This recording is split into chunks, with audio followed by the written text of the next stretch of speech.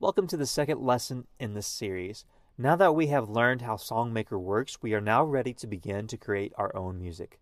But don't let this step intimidate you. I encourage you to relax and have a lot of fun with this. I'll give you some tips to help you along the way, which is what this video is all about.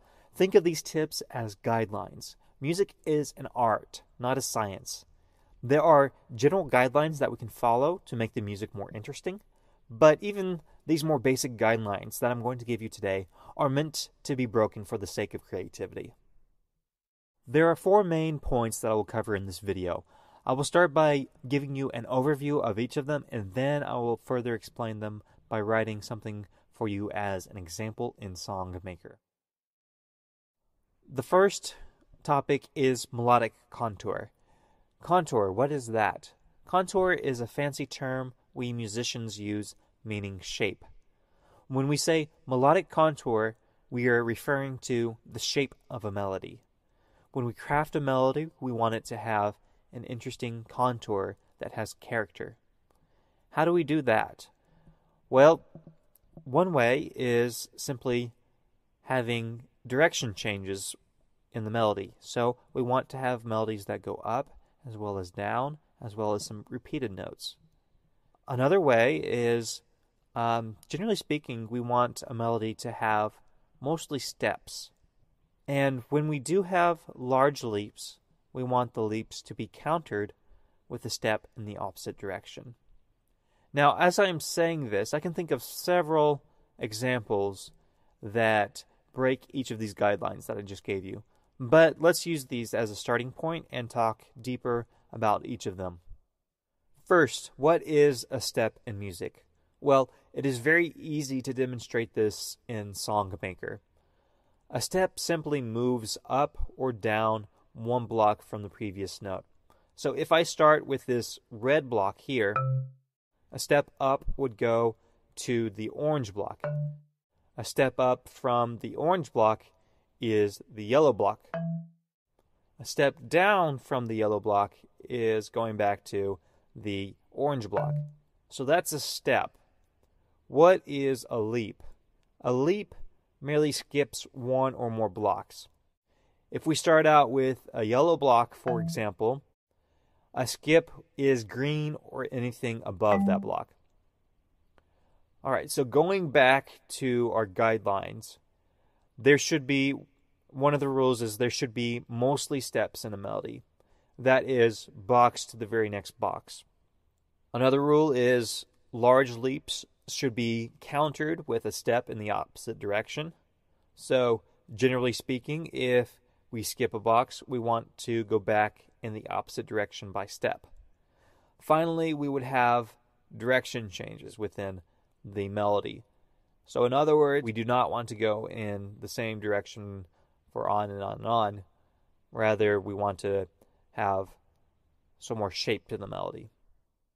That covers melodic contour. The next topic is rhythm. Generally speaking, to create an interesting rhythm, we want to vary the note values with mostly medium to short note values. So in SongMaker, a medium note value would take up about four of these horizontal boxes. Short note values would be everything shorter than that, and long note values would be anything longer than that.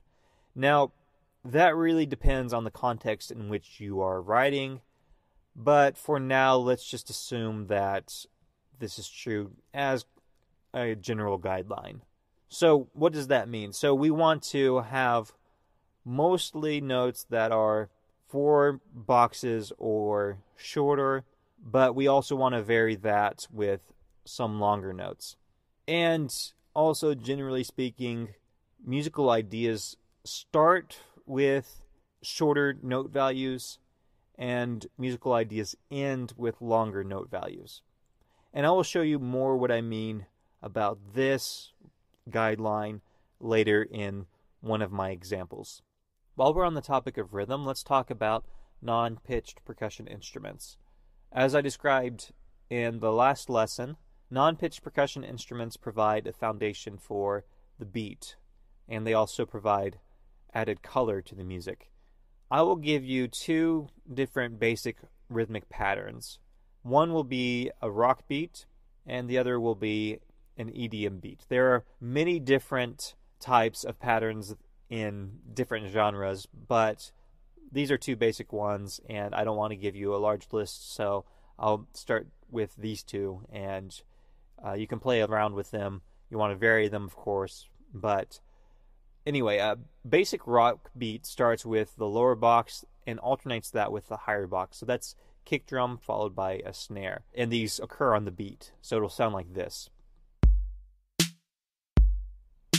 And then the EDM or electronic dance music basic uh, formula is what they call four on the floor.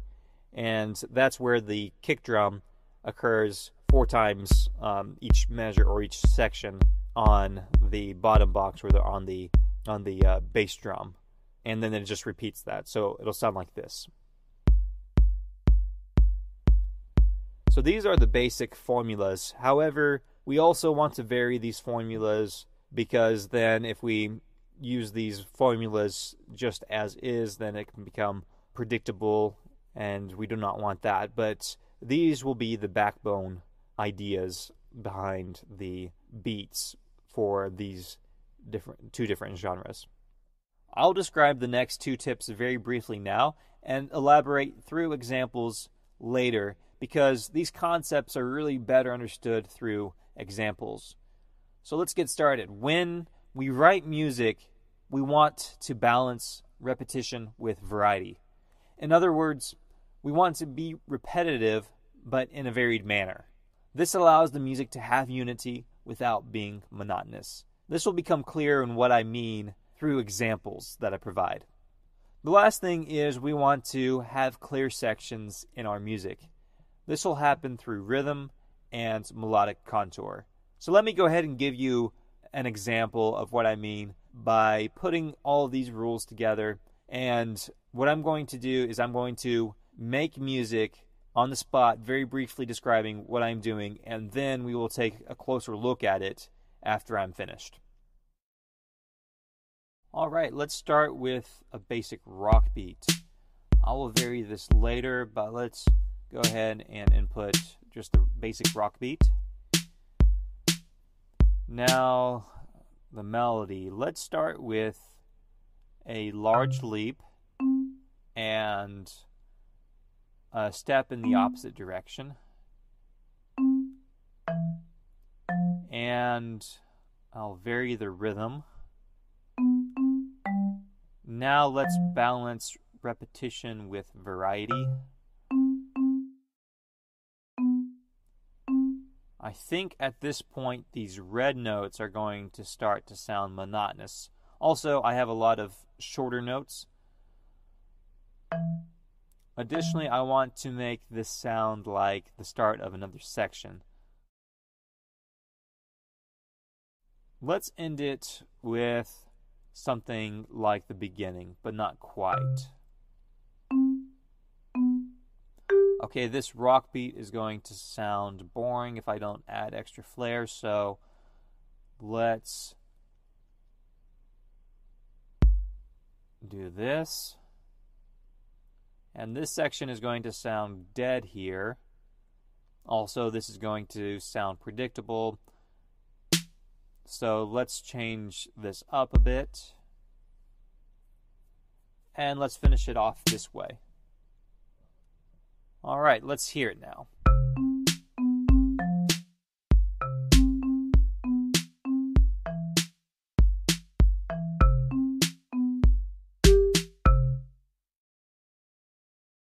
Okay, it needs a little something here.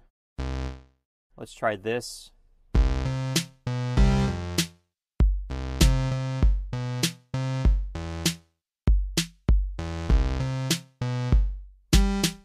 And there we go.